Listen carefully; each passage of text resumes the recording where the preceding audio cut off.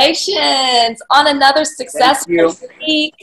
Um, AJ, I want to start with you. You said you're a big Disney fan, and you talked about, well, we saw you sitting at the table with your ears on, playing with your daughters. Did you tell your daughters who you were going to be tonight on the dance floor? I did, and then uh, when I sent them a picture of me in my full costume, my youngest daughter was like, I thought you were Aladdin. You look like the genie. It's because of my bald head. I'm like, well, you know, That would have been it would have been interesting if if if we had taken it that direction, blue, very blue. just fully blue, which means I'd still be blue for you right now. That. and sweating blue. Yeah, Yeah, no, yeah, no, no, no. It was great. It was great the way you guys executed it. yeah.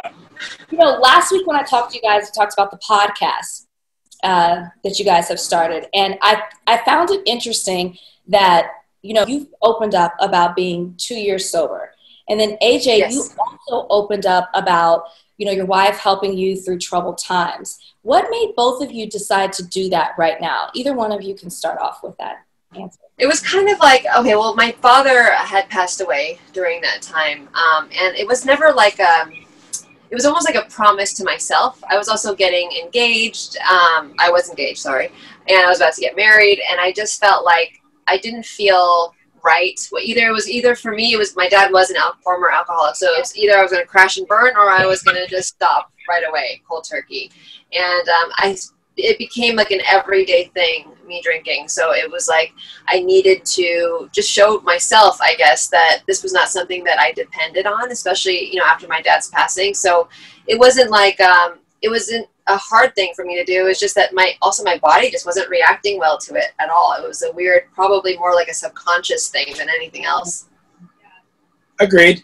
I mean, for me, you know, my wife's all. I mean, she's she's put up with me in like the worst the worst state I've ever been in, and now hopefully in my mind and also her mind, the best state I've ever been in these past almost ten months.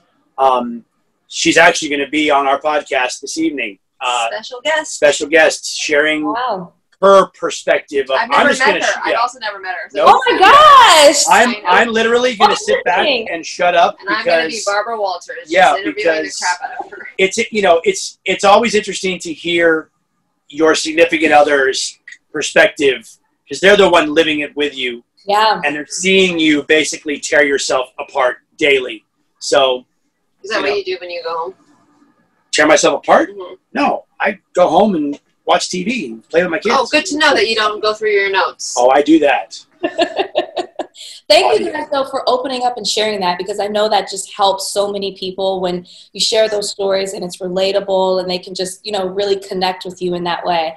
Um, can't wait to see or listen to the podcast episode. and you. congratulations again this week, Bruno. Thank You're improving and refining. That's what he said. I wrote that, that down in my notes. So can't wait to see what you guys. I love a girl that takes notes. Yes. Thank you. Bye, guys. Bye.